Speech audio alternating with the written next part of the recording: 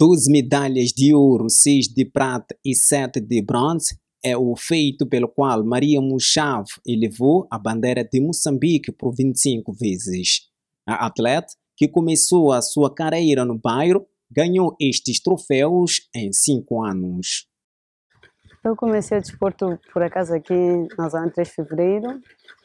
Eu vi algumas pessoas, uns dois gêmeos que davam treino na rua principal daqui do bairro 3 de Fevereiro, então ia e assistir. Então o senhor que lá estava dando treino e tudo mais, veio falar aos meus pais que era para também estar a treinar. Então eu gostei, comecei o treino. A velocista está agastada o facto de estar a perder espaço no atletismo. Eles não valorizarem o esforço que um atleta paralímpico faz porque só para locomover-se daqui para o treino já é muito difícil.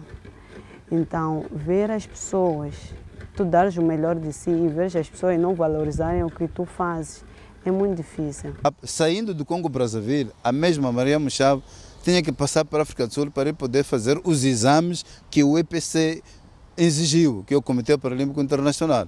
Então, chegada aqui a Moçambique, levou tanto tempo para ela poder fazer os exames porque não havia dinheiro. A próxima meta da atleta é a participação nos Jogos Paralímpicos do Japão em 2020. Vou treinar de segunda a sexta, estou a competir nos sábados no Parque dos Continuadores. Em 2012, Maria Muxavo é reconhecida como atleta paralímpica do ano no país depois de ter ganho a medalha de ouro nos Jogos da CPLP e ter tido a melhor marca nos Jogos Paralímpicos de Londres.